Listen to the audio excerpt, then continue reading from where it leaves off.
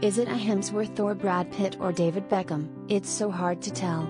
Just kidding, we know it's Chris Pine, and we are loving his new, casual look.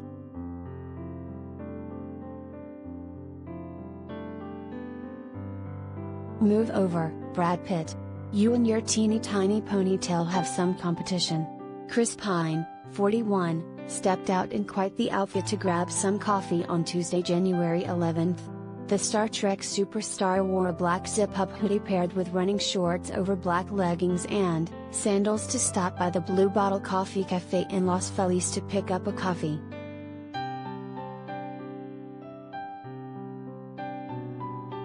But let's get back to the hair, don't you love it?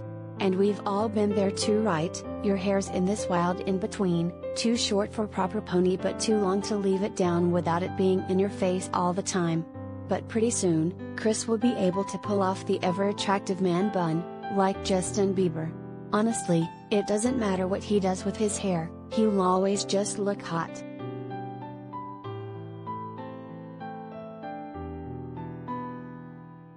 And in all honesty, it's just nice to see him.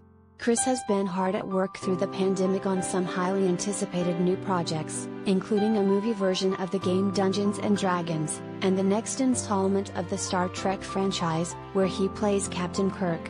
But it's been close to two years since we've seen the movie star in a, well, actual movie.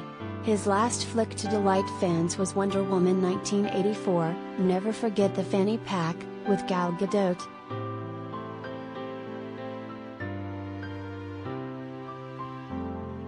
But my question is, which role did he grow the beard for? If you look closely at our rare sighting of Mr. Pine, you'll notice quite the scruffy beard beneath his mask. Could time have gotten the better of James T. Kirk? Or could it be for something else?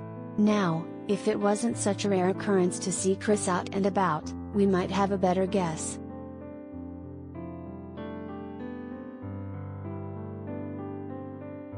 Regardless, 2022 is already looking like the year for hair makeovers for all kinds of stars. Jennifer Aniston is letting her hair go all frizzy, Bowen Yang is starting off the new year going platinum, but no one can touch Demi Lovato and the changes they've made to their look.